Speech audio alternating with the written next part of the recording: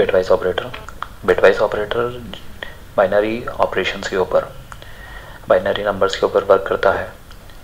ये generally testing value को set कराने के या बिट को शिफ्ट कराने के काम में आता है। ये केवल वर्ड और कैरेक्टर और इंटीजर डेटा टाइप में ही यूज़ किए जा सकते हैं, क्योंकि इसमें बाइनरी के ऊपर ऑपरेशंस होते हैं। एक बाइट में आठ बिट्स हो जाते हैं तो ऑलरेडी एक बड़ा नंबर हो जाता है जिसमें ट्रांसफॉर्मेशन के लिए। इसलिए जो कॉम्प्लेक्स डेटा टाइप्स हैं, जैसे कि float double long double wide इनमें हम ये ऑपरेशन नहीं कर सकते हैं। इसके लिए जो हम ऑपरेटर यूज़ करते हैं तो सिंगल एम परसेंट तो एंड ऑपरेटर के लिए। सिंगल वर्टिकल बार और ऑपरेटर के लिए। एग्जॉर कैप्स लॉक का जो साइन है ये। फिर टिल्ड साइन नॉट ऑपरेटर के लिए। टिल्ड साइन जैसे कि हम डिस्ट्रक्टर में भी यूज़ करते हैं, वही साइन हम नॉट ऑपरेटर के लिए यूज़ करते हैं। शिफ्ट राइट और शिफ्ट लेफ़्ट ये वाले ऑपरेटर हम बिट को राइट शिफ्ट कराने और लेफ़्ट शिफ्ट कराने के काम में देते हैं। इसका हम आगे देखते हैं क्या यूज़ है। As bits are shifted off one end zeros are brought in the other end यहाँ पर जो जैसे ही शिफ्ट होता है लेफ़्ट शिफ्ट या राइट शिफ्ट तो ज़ीरो से रिप्लेस हो जाता है। ये नहीं कि आपकी जो वैल्यू लेफ़्ट शिफ्ट हो गई है, वो आगे से वापस से राउंड में नहीं आके यूज़ होगी। ये अपना, वहाँ से तो डिस्ट्रॉय हो जाएगी और नई वैल्यू ज़ीरो से रिप्लेस हो जाएगी। अगर शिफ्ट राइट करते हैं तो इसका मतलब है हम जो नंबर है, उसको डिवाइड कर रहे हैं टू से। और शिफ्ट लेफ़्ट करते हैं तो उसका मतलब है हम टू से उसे मल्टीप्लाई कर रहे हैं। वंस कॉम्प्लीमेंट ऑपरेटर जो होता है टेल्ड साइन होता है, क्योंकि ये नॉट का ऑपरेटर होता है। ये हर स्टेट को, हर बिट को जो है रिप्लेस कर देगा। जैसे कि ज़ीरो है तो वन कर देगा वन है तो ज़ीरो कर देगा।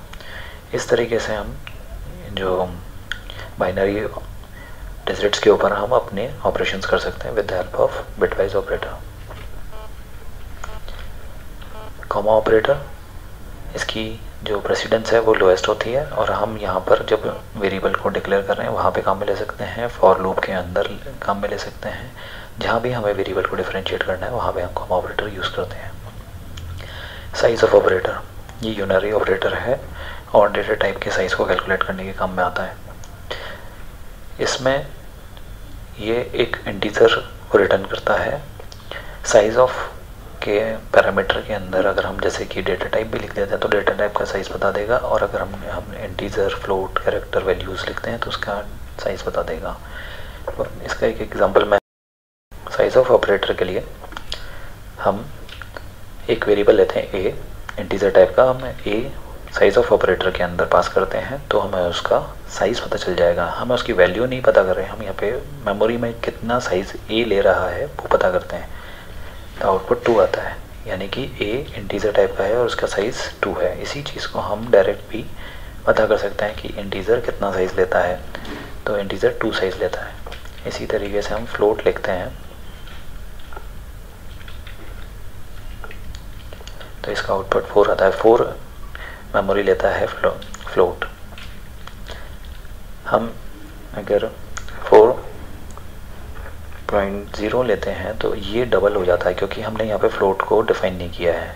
फोर पॉइंट ज़ीरो यहाँ पर बाई डिफ़ॉल्ट डबल हो जाता है क्योंकि हमने इसे फ्लोट नहीं डिफाइन किया। तो ये एट बाइट लेगा क्योंकि डबल एट बाइट लेता है। इसी तरीके से आप कोई भी नंबर कितना मेमोरी ले रहा है या करेक्टर कितना मेमोरी ले रहा है, उसका या तो आप डेटा टाइप लिख दीजिए या उसकी वैल्यू लिख दीजिए। तो ऑटोमेटिक उसका साइज़ मेमोरी में कितना ले रहा है वो बता देगा। अधिक लेक्चर्स के लिए सब्सक्राइब कीजिए। देखते रहिए सीखते रहिए और प्रैक्टिस कीजिए। धन्यवाद।